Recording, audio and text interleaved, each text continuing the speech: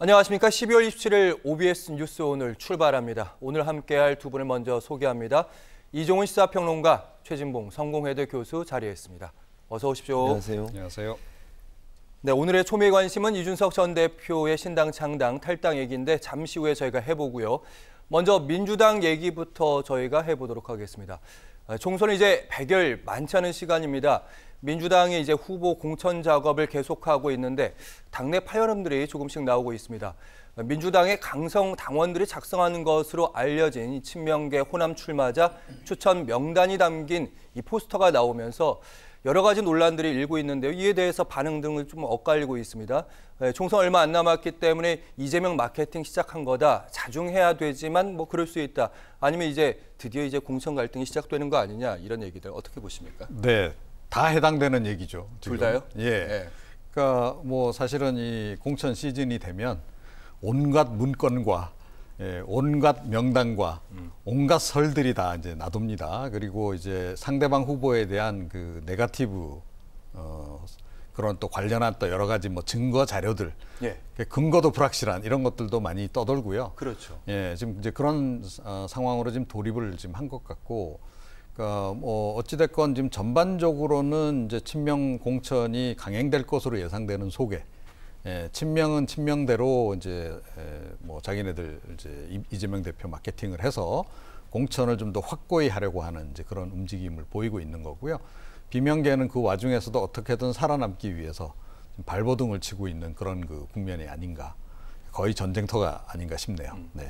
이종훈 시사평론가께서는 이제 어쨌든 총선에 가까워졌기 때문에 충분히 있을 수 있는 일이다. 앞으로 더해질 거다 이런 말씀이신데 이 포스터에 이름을 올렸던 두 명의 인물이 먼저 주목을 받고 있습니다. 강의원 당대표 특별 보좌관 그러니까 특보라고 많이 표현하고 있죠. 뭐 음주운전에 대한 문제 있었고 성추행 2차 가해 논란에도 있었습니다. 하지만 공천 적격 심사에서 예비 심사를 일단 통과를 했고 정의찬 당대표 특보 같은 경우에는 이제 한번 적격 판정을 받았다가 다시 부적격 판정을 좀 받기도 했는데 언론에 불거지면서 이 사안은 좀 어떻게 보셨어요? 그러니까 강의원 지금 후보자 같은 경우에 여러 가지 논란이 돼서 이게 사실은 법원에서는 보니까 판결은 나왔더라고요. 예. 그러니까 본인은 지금 아니라고 계속 주장을 하고 있는데 그래서 이 문제는 어떻게 될지 좀 지켜봐야 될 것 같고 그래서 이게 이제 뭐 성추행 2차 가해 이런 논란들 때문에 논란이 되고 있어서 이게 과연 계속 갈 수 있을지는 좀 지켜봐야 된다고 저는 봐요.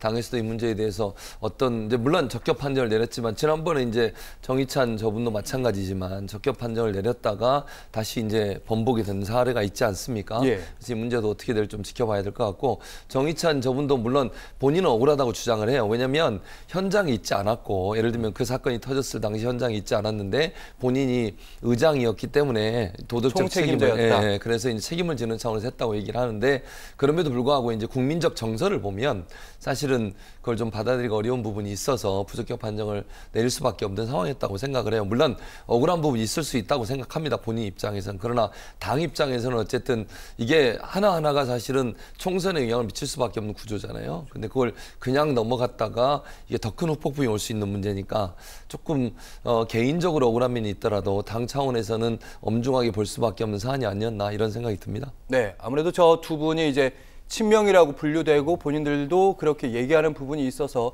더욱 주목을 받고 있는 측면이 있었는데 편파 검증 논란이 되고 있는 인물들은 또 있습니다. 관련 인물도 좀 살펴보면 이용주 전 의원이 있습니다. 음, 2018년 10월에 음주운전을 했고 벌금 300만 원의 약식 명령이 있었고요. 그리고 잘 알다시피 이제 국민의당으로 출마해서 의원이 됐고 다시 탈당했다가 다시 이제 민주당에 지금 복당을 한 경우고 그리고 문석균 김대중 재단 의정부시 지회장 원래는 지난 총선에서 유명한 분이죠. 지난 총선에서 문희상 전 국회의장의 아들로서 아파 찬스 논란이 좀 있었고 그러면서 탈당을 했고 다시 그걸 무소속 출마를 했단 말이에요.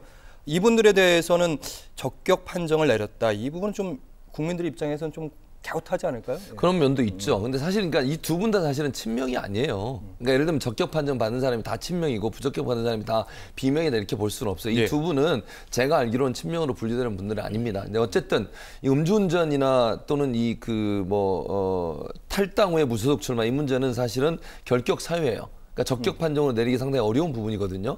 그러니까 지난번에 다른 한 분도 사실은 당에서 그 공천을 못 받으니까 당을 상대로 해서 어, 소송을 제기해서 그게 문제가 돼가지고 그분이 부적격 판정을 받은 적이 있어요. 그럼 이 사안으로 본다고 하면 그것과 거의 유사하다고 볼 수 있을 텐데 왜 적격 판정을 받은 좀 이해를 제가 할 수가 없는, 없는데 어쨌든 이 두 분 같은 경우도 적격 판정을 받았지만 문제가 불거졌으니 이 문제에 대해서는 다시 볼, 돌아볼 필요가 있다는 생각이 듭니다. 음주운전 같은 경우에는 좀 심각한 문제라고 저는 보거든요. 네. 이게 그냥 단순히 음주운전에서 벌금을 받았던 이 문제가 아니라 이게 음주운전은 다른 사람을 해칠 수도 있는 아주 위험한 행동이에요. 우리 사회가 그걸 용인할 수 없다고 저는 보기 때문에 그것도 이제 국회의원이 되겠다고 하는 사람들이 후보자로 나오면서 이런 전력이 있었다고 하면 이 문제는 좀 엄격하게 봐야 된다고 저는 생각해요. 그런 점에서 본다고 하면 이 두분 같은 경우도 문제가 불거졌기 때문에 다시 한번 검토가 필요한 상황이라고 생각합니다. 네.